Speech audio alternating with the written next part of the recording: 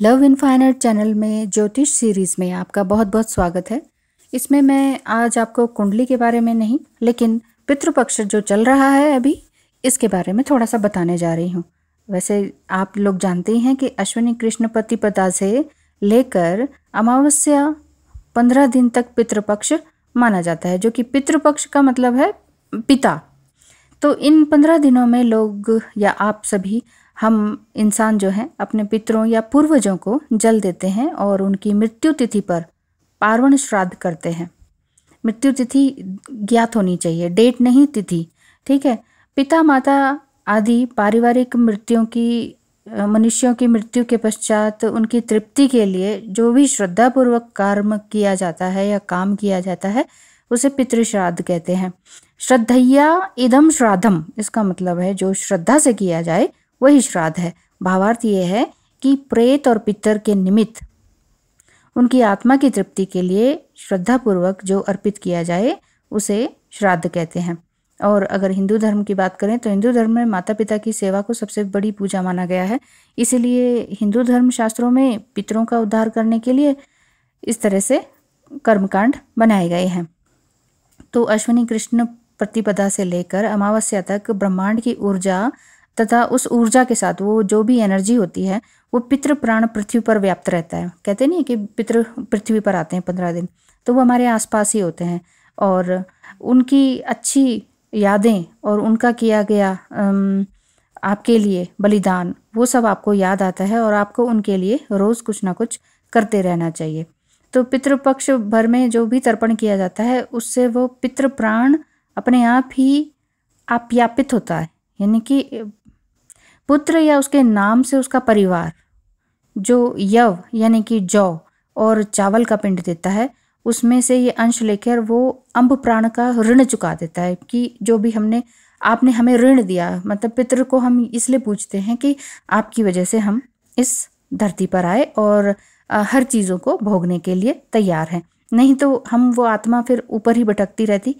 तो इसीलिए ये धन्यवाद सहित या ग्रेटिट्यूड कहेंगे तो इस तरह से ये कहा जाता है।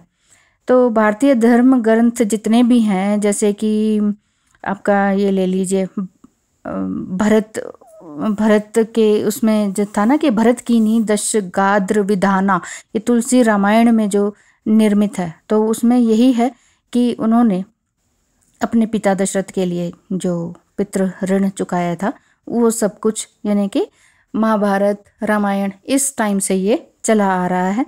और सनातन धर्म तो एक तरह से धर्म क्या है? वो तो एक साइंस है। हिंदू धर्म धर्म नहीं है। वो एक साइंस है। तो वही साइंस अब पूरी दुनिया में स्प्रेड ऑलरेडी हो चुकी है। लेकिन सब अपने अपने रिलीजन को कहते हैं धर्म। बल्कि हिंदू धर्म में ये सिखाया जाता है कि धर्म मीन्स कर्म। जो भी आपका कर्म है, वही आपका धर्म है। दूसरों की सेवा करना, ये आपका धर्म है। पर्टिकुलर हिंदू धर्म एक धर्म नहीं है, वो तो एक बहुत ही वास्ट चीज़ है साइंटिफिक चीज़ है। तो इसमें आपको बहुत उलझना नहीं चाहिए धर्मों में, लेकिन हाँ पितृ के लिए तो सभी करते हैं, किसी भी धर्म में ले लीजिए, चाहे एंसेस्ट्रल हीलिंग कराते हैं या पितृपक्ष में जो भी कुछ करवाते हैं तो वो सारी चीज़ें। बस आपके पिता की मृत्यु का तिथि आपको मालूम होनी चाहिए, उसके बाद आप कर सकते हैं। सिर्फ़ पिता ही नहीं आते, उसमें दादा भी आ जाते हैं, उनके फोर फादर्स भी आ जाते हैं तो वो सारी चीज़ें उसमें आती हैं। इवन माता पक्ष के पूर्वज भी इसके अंतर्गत आते हैं, जिनका तर्पण किया जाता है। तो ये पूरे सोलह दिनों तक जिस ये आता है, इसे पितृपक्ष कहते हैं। जिस तिथि को माता पिता का देहांत होता है, उसी तिथि को पितृपक्ष में उनका श्राद्ध किया जाता है। अब ये सब तो आपको मालूम ही है, लेकिन जब पितृपक्ष अगर श्राद्ध नहीं किया जाता है, बिल्कुल कुछ करते ही नहीं है, याद ही नहीं करते हैं तो उससे क्या होता है कि परिवार में अशांति हो जाती है वंश वृद्धि रुक जाती है, बेटा है तो उसका बच्चा ही नहीं होगा, बेटियाँ हैं तो उनकी शादियाँ नहीं होती, या हो जाती है तो टूट जाती हैं, या फिर आकस्मिक बीमारियाँ आ जाती हैं, मन परेशान रहता है, घर भरा रहता है, लेकिन फिर भी बरकत नहीं होती है, सब लुटता जाता है, बहता जाता है, धन भी ऐसे ही वेस्ट होता जाता है तो संकट संकट और संकट, ये दिखाई देते हैं, अगर चारों तरफ़ बेचैनी रहती है, मन परेशान रहता है, बुरे सपने आते हैं तो ये पितृदोष के लक्षण होते हैं। और ये भी हो जाता है कि परिवार में किसी सदस्य की अचानक से अकाल मृत्यु जिसे कहते हैं, वो हो जाती है। तो ऐसे में आपको पवित्र स्थान तो बहुत सारे हैं, जैसे गया है। गया भी बहुत अच्छा स्थान है। तो वहाँ अगर आप जाके आप तर्पण करते हैं तो बहुत ही अच्छी बात है। और इसी तरह से आप डेली श्राद्ध भी कर सकते हैं, क्योंकि यम यम स्मृति जो है ना, उसमें पाँच प्रकार के श्राद्धों का वर्णन मिलता है। जैसे कि नित्य श्राद्ध, नैमित्तिक श्राद्ध काम्य श्राद्ध जो कि काम, कामना से कि मेरी कुछ कामना पूर्ण हो जाए। काम्य श्राद्ध वृद्धि श्राद्ध और पार्वण श्राद्ध के नाम से जाना जाता है। तो नित्य श्राद्ध है, नैमित्तिक श्राद्ध है, जिसमें कि किसी की मृत्यु हो जाने पर दशा, एकादशा पर करते हैं। काम्य श्राद्ध वो होता है जिसमें किसी कामना से किया जाता है। वृद्धि श्राद्ध जैसे कि पुत्र की प्राप्ति करनी हो, किसी का शादी करनी हो तो वृद्धि होती है ना? तो इस चीज़ के लिए, इस पावन इस इच्छा के साथ श्राद्ध किया जाए तो वो वाला श्राद्ध किया जाता है। पार्वण श्राद्ध वो होता है जब पितृपक्ष या अमावस्या या पूर्व की तिथि आदि पर किया जाने वाले श्राद्ध को पार्वण श्राद्ध कहते हैं। ऐसे ही संपीडन श्राद्ध, गोष्ठी श्राद्ध, शुद्ध अर्थ श्राद्ध, कमाग, कर्माग श्राद्ध, यथार्थ श्राद्ध, पुष्ट अर्थ श्राद्ध और इस तरह के कई तरह के श्राद्ध हिंदू धर्म में मान्यताएँ हैं। तो अगर हम ये कहें कि, आप कहेंगे कि ये तो आप नॉलेज दे रहे हैं, इसके बाद क्या मतलब हम कैसे करें? तो देखिए, ये तो हुई सारी बातें, आपको भी मालूम है कि गया बहुत अच्छी जगह है विष्णुपद एक मंदिर है, वहाँ भी आप जाकर भगवान विष्णु के चरण वहाँ पर उपस्थित है, वहाँ पे जाके आप पूजा कर सकते हैं। ये भी बहुत सारी बातें हैं, लेकिन रोज़ के लिए अगर अगर आपको पितृ पक्ष में श्राद्ध करना है तो पितरों के निमित्त दान करने के लिए आपको सुबह सुबह उठकर अपना उबले हुए चावल ले लीजिए। चावलों को इतना सॉफ्ट उबाल लीजिए। मतलब बासमती राइस को हम बिल्कुल खिला खिला करते हैं ना, वैसा नहीं। चिपके चिपके होने चाहिए उबले चावल। उबले हुए चावल हो, एक कटोरी उबला चावल डेली ले लीजिए। केले का पत्ता नीचे रख लीजिए। ठीक है, उबले चावल उसमें रख दिए। ठीक है, और उसमें एक चम्मच दही रख दी, एक चम्मच घी डाल दिया। और काला तिल डालें तो बहुत अच्छा है, पर बहुत ज़्यादा ना डालें, एक चुटकी काला तिल डाल दें ताकि कौवे वगैरह खा लें। अब आप ये पूछेंगे कि कब डालें तो सबसे वैसे तो रोज़ ही करें तो बहुत अच्छा है, लेकिन जो 25 सितंबर है ना, ट्वेंटी फिफ्थ सेप्टेम्बर जो कि भरणी नक्षत्र के अंतर्गत आता है और ये आ रहा है शनिवार के दिन। तो भरणी नक्षत्र क्या है? यमराज नक्षत्र है, यानी कि आपके डीएनए को, आपके प्रेत जन और पितृजन, इनको पूजने के लिए 25 सितंबर सबसे अच्छा है, ट्वेंटी फिफ्थ सेप्टेम्बर अगर आप बाहर रहते हैं तो नहीं आता कईयों को। 25 तीस, इकतीस नहीं समझ में आता है। तो ट्वेंटी फिफ्थ सेप्टेम्बर यानी कि सैटरडे को भरणी नक्षत्र है, यमराज नक्षत्र जैसे कहते हैं, इस दिन आप पितरों के निमित्त दान कर सकते हैं। कई बार होता है ना, ऑफ़िस में जा रहे हैं, ये है, वो है तो टाइम ही नहीं मिल पाता है तो ट्वेंटी फिफ्थ को कर लें। और पितृपक्ष में भरणी नक्षत्र आने पर उसको महाभरणी नक्षत्र कहते हैं तो ये वाला दिन सबसे अच्छा है। और दिन नहीं कर पाए तो। या या तिथि याद नहीं है तो। कई बार माता पिता से इतना दूर रहते हैं कि कुछ कांटेक्ट ही नहीं रहता। कब जिए, कब मरे, ध्यान ही नहीं रहता है। तो अगर ऐसा कुछ है तो पितृपक्ष में भरणी नक्षत्र आने पर जो ये महाभरणी नक्षत्र बन जाता है ना तो ये दिन सबसे शुभ माना गया है। कैसे करना है? जैसे ये सब तो उबला हुआ चावल, दही, घी और काला तिल डाल के आपने छत पर रख दिया, केले के पत्ते पे डालकर, ठीक है? लेकिन उससे पहले आपको दक्षिण दिशा की तरफ़ तिल के तेल की दीप जला देना है या लौ जला देनी है। यानी कि पितृपक्ष जो है दोपहर के टाइम में माना जाता है। सुबह सुबह नहीं कर देना, चावल सुबह उबाल के रख सकते हैं जैसे जैसी सुविधा हो। पूजन जो करना है, वो करना है आपको साढ़े ग्यारह या बारह बजे से दोपहर के। बारह से तीन के बीच में कभी भी ये जल अर्पण, तर्पण कर सकते हैं। ठीक है? पितृपक्ष के लिए। दोपहर बारह से तीन के बीच, एक बार फिर से रिपीट कर देती हूँ। दक्षिण दिशा की तरफ़, यानी कि साउथ की तरफ़। तिल के तेल का दीपक, सेसमी ऑयल्स होता है ना, वो, और उसको दीप जला देना है उसका।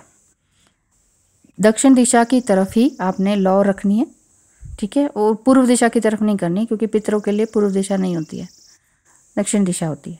वहाँ रखना है और पूजन कर देना है, अपना नाम ले लेना है, संकल्प ले लेना है। अपना नाम मतलब संकल्प में क्या क्या आ जाता है? आपका नाम, आपके पिता का नाम, आपके गोत्र का नाम और जो भी आपकी इच्छा है, वो आप बोल सकते हैं।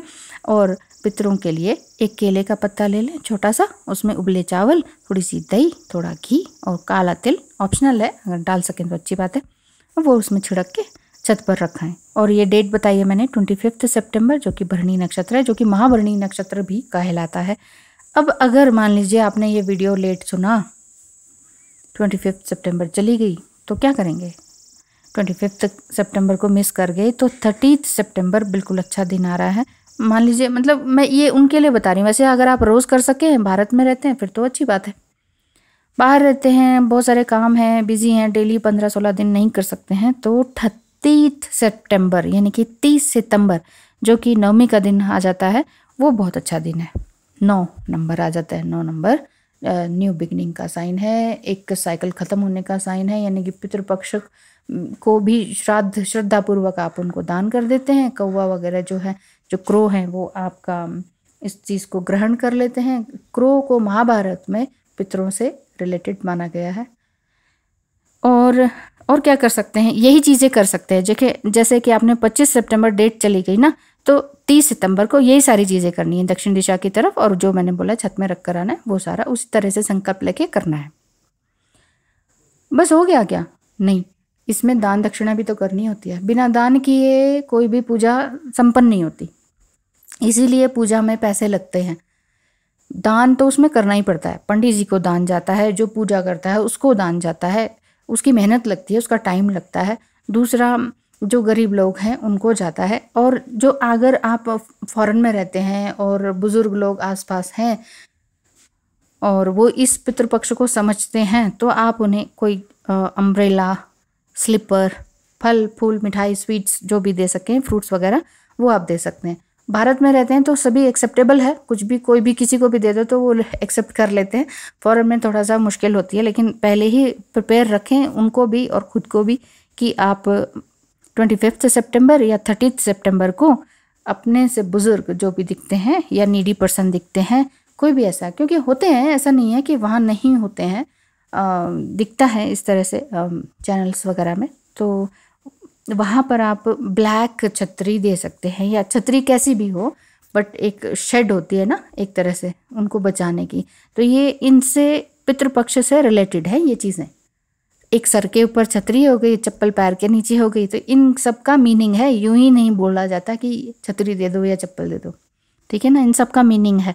और फल, मिठाई या कपड़े, जो भी आप दान देना चाहें, वो आप दे सकते हैं। तो थैंक यू सो मच मेरी वीडियो को देखने सुनने के लिए। आई थिंक आपको पूरी अच्छी तरीके से समझ आ गया होगा। तो ज़रूर करें दान दक्षिणा अपने माता पिता की संतुष्टि के लिए या फिर माता पिता भी हैं और दादाजी हैं और उनकी संतुष्टि के लिए, उनकी, उनको श्राद्ध, श्रद्धापूर्वक उनको रिस्पेक्ट करने के लिए ग्रेटिट्यूड में आने के लिए, या फिर यूँ कहें कि अपने डीएनए क्लिनजिंग के लिए ये करना बहुत ज़रूरी है। धन्यवाद।